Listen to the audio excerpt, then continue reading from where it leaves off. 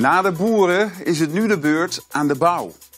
De Gelderse bouwwereld gaat morgen massaal in Den Haag protesteren tegen het stikstofbeleid. Goedenavond.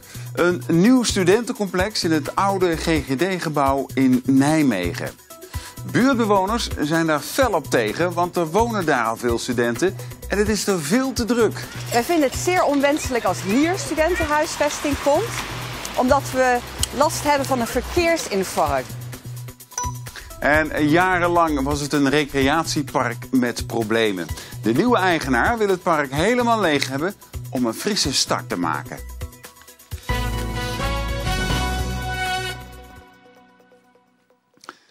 Ja, we zagen eerder al massaal boeren naar het Malieveld in Den Haag trekken tegen het stikstofbeleid. Dat zorgde voor veel en voor lange files. Het is nu afwachten wat een volgend protest morgen op het Malieveld gaat brengen. Ditmaal van de bouwwereld en het grondverzet. Vooral bij het grondverzet ligt het werk nagenoeg stil door de stikstofregels en vervuilde grond. Een groot deel van de tientallen grondverzetmachines van Wim van Maurik staan noodgedwongen stil. Ik maak me ernstige zorgen over hoe met mijn 20 mensen de, de winter door te komen. Want veel grond mag niet verplaatst worden. We worden nu van twee kanten zeg maar, beschoten. We twee kanten onder vuur genomen. De ene kant is het stikstofprobleem en de andere kant is het PFAS-probleem. PFAS is een industrieel restproduct van onder meer teflonpannen en regenjassen. De chemische stof komt bijna overal in de grond voor. PFAS is een gevaar voor de volksgezondheid en daarom zijn de regels om met de grond te werken verscherpt. Het kabinet hoopt echter de strenge normen tijdelijk te kunnen versoepelen op basis van verder milieuonderzoek. De norm wordt aangekondigd dat die veranderd wordt. Maar goed, stel dat die van 0,1 naar 0,2 gaat, is nog steeds te laag. Van Maurik wil dat er snel minder rigide regels komen, want collega's vallen nu om, zo weet hij als voorzitter van de brancheorganisatie. De eerste ontslagen zijn aangevraagd en ook de eerste bedrijven raken financieel in de problemen. Daarom gaat hij morgen met duizenden andere collega's, ook uit de bouw- en transportsector, in optocht naar het Haagse Malieveld. Een protest zonder overlast voor het publiek. Althans, dat is de bedoeling. Kom alsjeblieft naar Den Haag, maar laat je machines thuis. Publieksvriendelijk, het liefste geen files, geen oponthoud, geen overlast voor de burger. Garanties kan ik daar natuurlijk niet op geven. Ik weet ook niet of er morgen iemand op de shovel stapt en toch richting Den Haag rijdt. Nog een nieuw studentencomplex erbij, dat kan echt niet. Dat zeggen buurtbewoners van de Nijmeegse wijk Heijendaal, die vlakbij de universiteit ligt. De gemeente is van plan om in het GGD-gebouw in die buurt studenten te gaan huisvesten. Maar er zitten daar al zes studentencomplexen in die buurt en daarmee is de maat vol. Want nu al is het rond de spitstijd veel te druk in de wijk, zeggen de buurtbewoners. Het valt niet mee om in deze buurt je kinderen Goed opletten. veilig naar school te brengen. En dan wil het college hier nog eens 250 studenten huisvesten. Wij vinden het zeer onwenselijk als hier studentenhuisvesting komt, omdat we last hebben van een verkeersinfarct. Ja, dat zouden we heel vervelend vinden, want ja, het is nu al een gevaar voor onze kinderen. Maar volgens het college is het studentencomplex hard nodig. Er is nog steeds een enorm tekort aan uh, kamers. Hè. Volgens het uh, woonbehoefteonderzoek dat het college vandaag heeft uh, gepubliceerd, is er nog een tekort van maar liefst 1900 kamers in Nijmegen. Onzin, zo zegt de buurt. Uit onderzoek blijkt dat er juist behoefte is aan meer starterswoningen. Het is zo inderdaad dat veel studenten in kamers blijven wonen, maar dat is omdat ze geen alternatief hebben nadat ze klaar zijn met hun studie.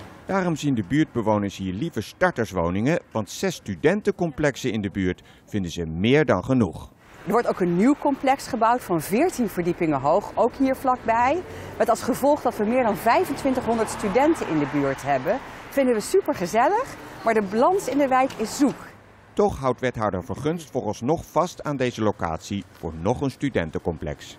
Volgens ons is de Groenewoudseweg een goede locatie.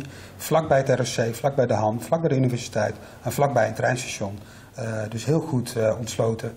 Uh, dus wat ons betreft kan het op deze locatie. Absoluut niet. De messen zijn geslepen, het verzet is groot, de buurt is er tegen.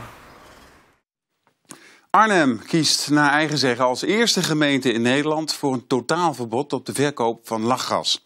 Verbod gold al op straat, in het centrum en tijdens evenementen. Maar nu wordt ook de verkoop in de horeca aangepakt. Ondernemers die lachgas verkopen, moeten daar per direct mee stoppen. En doen ze dat niet, dan grijpt de gemeente in en komt dat de ondernemers op sancties te staan. Lachgas is volgens burgemeester Marcouch gevaarlijk voor gebruikers en draagt bij aan vervuiling. Een grote controle vandaag op een vakantiepark in Arnhem. Provincie, Belastingdienst en de politie hielden een gezamenlijke actie. In de afgelopen jaren heeft er zich op het park van alles afgespeeld, variërend van prostitutie en bedreigingen tot drugsproblematiek. Het gaat om recreatiepark Oostappen in Arnhem. De gemeente inventariseert daar samen met de Belastingdienst en de politie wie er allemaal op het park wonen. In het verleden is hier veel misgegaan en vanmorgen om vijf uur begon de grote actie. En dat betekent dat wij uh, huis aan huis gaan om uh, bij elke uh, woning vast te stellen wie daar nou wonen. met welk doel ze daar wonen, of ze werk hebben en nou, eigenlijk wat de omstandigheden van, van het verblijf zijn. Wat gaan jullie doen met die inventarisatie? Nou, het is de bedoeling dat het college een voorstel maakt over hoe zij de toekomst van dit park ziet. En daarvoor is deze inventarisatie nu nodig. Dus aan het einde van de dag en de komende weken gaan we dat allemaal verzamelen bij elkaar. En dan komt er een voorstel. Ja, de grote controle nam uren in beslag en de uitkomst is dat er 96 bewoners permanent wonen en niet ingeschreven staan bij de gemeente Arnhem. Eén persoon is aangehouden en er zijn ook twee auto's in beslag genomen en er werden vier openstaande boetes geïnd. Een camping waar ook jarenlang problemen waren, dat is camping Maaszicht in Kerkdriel. De camping heeft nu een nieuwe eigenaar die een frisse start wil maken. Omdat er de afgelopen maanden meerdere branden waren op de probleemcamping, heeft de burgemeester samen met de nieuwe eigenaar besloten dat chalets gesloopt mogen worden. Nou, dan zijn we dat mooiste plekje van, uh, ik vind, van de hele wereld. Het leegruimen van de probleemcamping is in volle gang. Maar Sylvester blijft zitten waar hij zit. Nou, het eerste leg ik mij er niet meer neer. Ik, ik speel gewoon op kaart en dit ook. Het is niet omdat ik hier nou ruzie met de campingbaas wil. Maar ik denk dat ze het niet leuk vinden dus. De nieuwe eigenaar, Europarks, wil dat iedereen de camping verlaat, zodat hij er een luxe resort van kan maken. Sinds die aankondiging is het onrustig en gingen er meerdere chalets in vlammen op. De gemeente grijpt nu in. Zowel de gemeente als Europarks willen niet voor camera een verhaal doen. De gemeente laat weten in samenspraak met Europarks de sloop van leegstaande chalets hier versneld door te zetten. De gezinnen die hier nu nog wonen moeten nog nieuwe woonruimte krijgen. Samen met Europarks en hulpverleningsinstanties kijkt de gemeente hoe ze dat kunnen oplossen. En dan komt er een grote kraan en dan denk je wat gaat gebeuren. Ja, dan gaat er weer een caravan af. Hoe lang het leegruimen nog gaat duren is maar zeer de vraag. Want voor de meeste gezinnen is nog geen oplossing gevonden. En ook Sylvester is niet van plan zomaar te vertrekken. Ja, ik kan niet in mijn portemonnee kijken, maar het is voor mij echt een hele hoop geld. Daar heb ik mijn hele leven hard voor moeten werken. Koop ons uit of zeg van, uh, kom ons tegemoet. Voordat hier met de bouw van het resort begonnen kan worden, is er nog een hoop te doen. Gelderse restaurants doen het goed.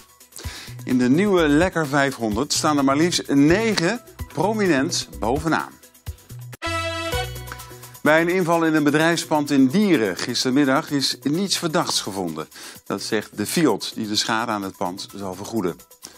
De Fiat viel bij de loods binnen vanwege een groot internationaal onderzoek naar een criminele bende die zich bezig zou houden met de invoer, bewerking, opslag en de handel in tabak. Er zijn ook invallen gedaan in het zuiden van het land en in het buitenland. Er zijn 18 mensen aangehouden. De kogel lijkt door de kerk. Er komt vrijwel zeker geen nieuwbouw voor het gemeentehuis van Nijkerk. Ambtenaren verhuizen eind 2021 naar het leegstaande kantoor van de Rabobank. De gemeenteraad moet dat plan nog wel officieel goedkeuren. Plannen voor de nieuwbouw die lagen al klaar op de plek van het oude gebouw. Maar de leegstaande Rabobank is een goedkopere en een snellere oplossing. De gemeente wil het pand wel verder verduurzamen en er moet een raadzaal worden aangebouwd. Rapper Snelle is de winnaar geworden van de MTV Europe Music Awards met de beste Nederlandse act, Best Dutch Act. Dat betekent dat hij zondag Nederland vertegenwoordigt op de internationale IMA's in het Spaanse Sevilla. De geboren Gorselnaar maakt zondag tijdens die show ook kans op de titel Best Worldwide Act. Muziekfans bepalen de winnaars door voorafgaand aan de show op hun favoriete artiesten te stemmen. Smulpapen hebben er naar uitgekeken. Chef Cox ook, maar dan misschien met een beetje nervositeit. Vandaag is namelijk de Lekker 500 uitgekomen. De gids waarin de beste restaurants van ons land op een rijtje worden gezet. En in de top staan maar liefst negen Gelderse restaurants.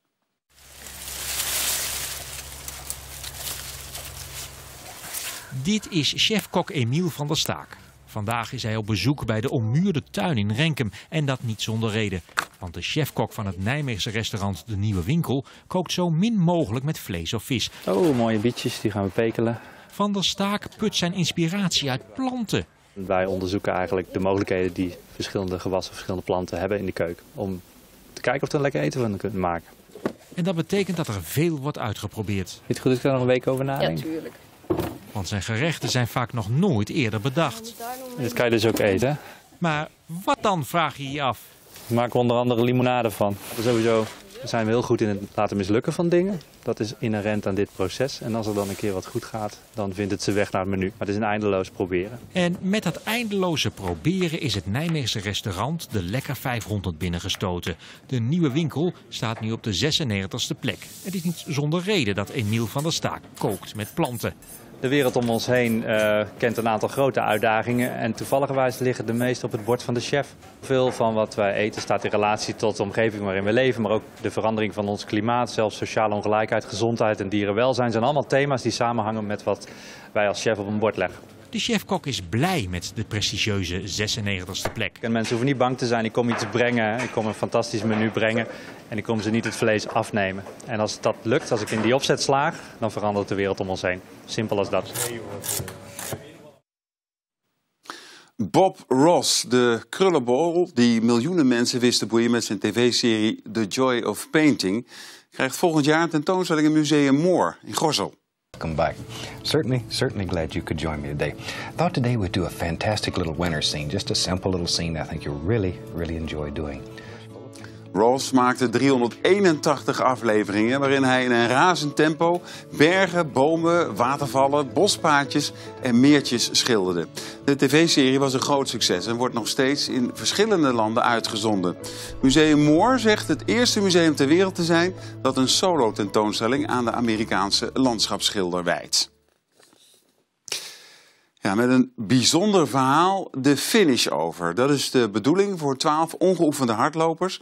die de komende tijd gecoacht worden door de Apeldoornse ex-topatleet Dennis Licht. Het doel is om in februari 8 kilometer hard te lopen... tijdens de Midwintermarathon in Apeldoorn. De lopers hebben de afgelopen tijd brieven gestuurd om in aanmerking te komen voor het Omroep Gelderlands loopteam. En gisteravond kwamen zij voor het eerst bij elkaar. Dan probeer je zo diep mogelijk te gaan, hè? Dennis, tweede jaar op rij. Mooie nieuwe verhalen. Welk verhaal heeft jou het meest geraakt? van Wilfried Buis. En uh, het is toch wel bijzonder. Hè? Hij heeft uh, vorig jaar een diagnose gehad. Uh, waardoor hij ja, chemokuren onder andere heeft moeten ondergaan. Er is bij mij vorig jaar kanker geconstateerd, endeldarmkanker. En ik heb daar twee ja, heftige operaties voor gehad. En ehm, ja, daardoor heb ik dus niet kunnen trainen. En ja, dus ik ben heel blij met deze kans. Niet alleen Wilfried is blij met deze kans. Oh, dit doet er zeer. Mijn vrouw die heeft de hele marathon gelopen van Berlijn. En ik stond aan de kant in de regen en ik zag haar voorbij komen. Toen dacht ik, joh, wat eigenlijk plat gezegd, waar ben je sukkel dat jij hier staat en dat jij niet loopt. En dat is eigenlijk de voornaamste reden dat ik heb gezegd, jongens, en nu is het klaar en nu gaan we ervoor. En zo heeft iedere deelnemer zijn eigen reden om mee te doen aan deze uitdaging. Ik heb heel veel gelopen, maar elke keer na drie maanden raak ik geblesseerd. En uh, ik dacht, dit is een kans voor mij om uh, het nu eens goed te doen in plaats van uh, elke keer weer de mist in te gaan. Dus ik wil nu van een knipperlichtrelatie naar een vaste relatie met hardlopen. Gaan ze het allemaal halen? Ik denk het wel, ja. Ieder persoon op zich is een enorme uitdaging. Maar uh, ja, ik, uh, ik uh, ga ervoor. 12 bij 12.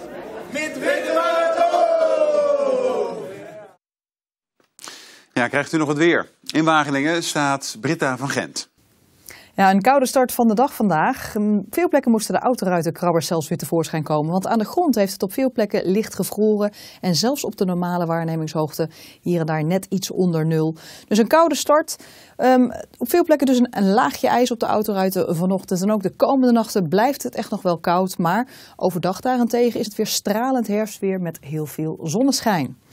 Nou, vanochtend hadden we nog wel eventjes wat wolkenvelden die trokken naar het zuiden weg. En daarna hadden we een mooie strak blauwe lucht. Smiddags slechts een paar kleine stapelwolkjes. Dus een uh, prima dag vandaag. Met daarbij een wind vanuit de noordoostelijke richting. En toch wel een wat frissere hoek. En ook vanavond en vannacht blijft de wind een beetje vanuit diezelfde hoek waaien. Zwakt wel iets af naar hooguit nog een windkracht 2. En met nog steeds vrij helder weer hebben we dan toch ook weer een koude nacht te pakken. Op veel plekken weer een graadje vorst komende nacht. Dus ook morgenochtend kan die ijskrabber weer nodig zijn.